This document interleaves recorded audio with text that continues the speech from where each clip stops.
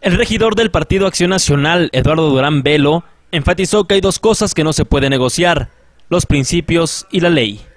Lo anterior en relación al proceso administrativo que se lleva en contra de la Contralora Municipal, Joana Camacho. El regidor panista consideró delicado que el alcalde Luis Gutiérrez no que agrave la situación, pues se habla de una recomendación realizada por la Procuraduría de los Derechos Humanos del Estado por la violación a los derechos humanos de Ramón Izaguirre. Eduardo Durán recomendó que la Contralora del municipio se separe del cargo mientras dure el proceso y recriminó que casos similares a este se manejen de maneras distintas.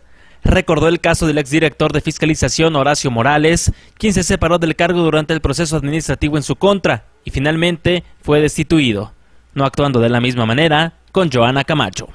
Que hay dos cosas que no se pueden negociar y creo que todo gobernante lo tendría que ver así. No se puede negociar ni los principios ni la ley. Entonces sobre eso vamos, vamos viendo.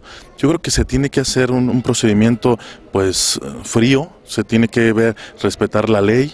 Aquí lo que a mí veo algo un poco ya, este, pues ahora sí que las aguas ya están un poco turbias, es cuando el alcalde sale a declarar que es una pena menor o que no, o sea, no le da relevancia a una observación del procurador de derechos humanos. Entonces eso creo que lo veo grave y en el otro sentido de que no que en este caso no se le haya, bueno, pedido o solicitado a la, Contralora que se retire pues un poco del cargo, un tiempo en lo que dura el procedimiento. Si el procedimiento administrativo dura pues una semana, pues una semana se, se retira. Creo que eso hubiera sido lo más correcto, pero el alcalde fue tajante y dijo que no. O sea, aquí lo que podemos ver es que a veces sí y a veces no. Sabemos que a Horacio, se le, a Horacio Guerrero se le pues se le sancionó con toda la mano, con toda la ley, con, con, toda la frialdad posible, como debió de ser, y ahora como que lo vemos más titubeante, ¿no?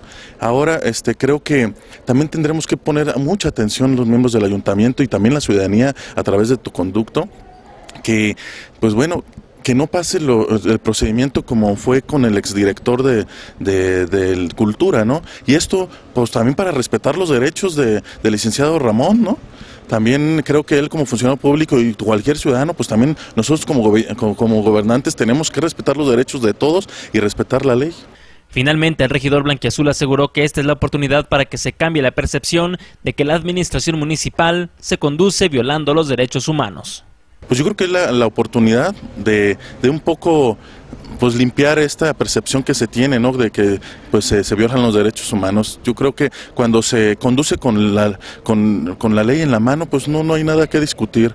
Espero que, que se tome este, eh, pues esta forma de, de, de, hacer política, de hacer gobierno por parte del alcalde y que pues que nos conduzcamos como debe de ser. MB Televisión.